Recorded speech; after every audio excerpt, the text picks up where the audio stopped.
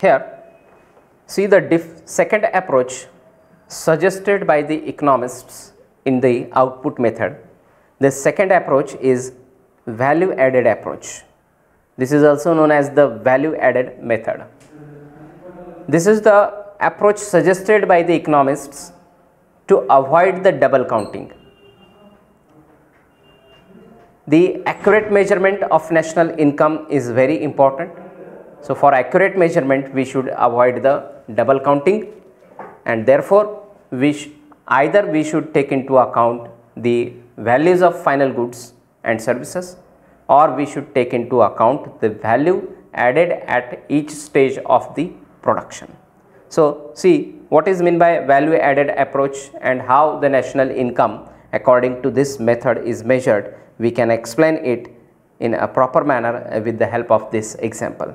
Before we go to see this example, see what is mean by value added. So, value added means what?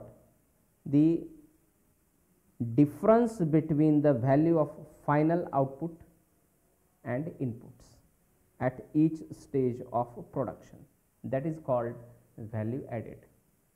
Value added means the value of final output and the value of inputs. The difference between the output and input is called as a value added. See in this example final product is the shirt, but before going to produce shirt there are three different stages of production are shown in this example in the first column. First a farmer produced cotton and its value is rupees 150. The input value is shown here 0 and therefore, the value added is 150 at the first stage of production.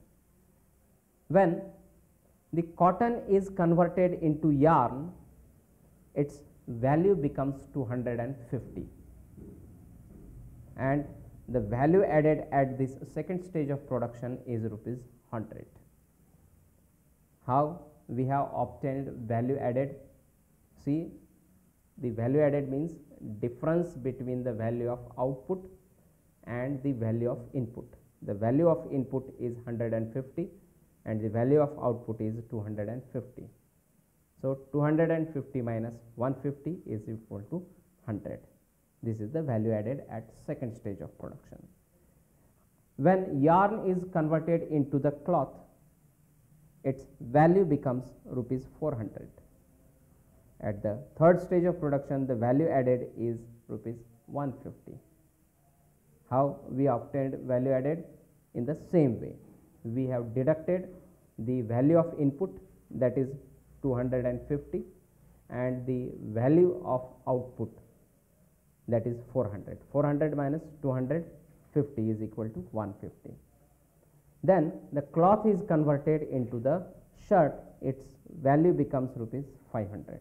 In the same way, we have obtained value added. The value added at this last stage of production is rupees 100.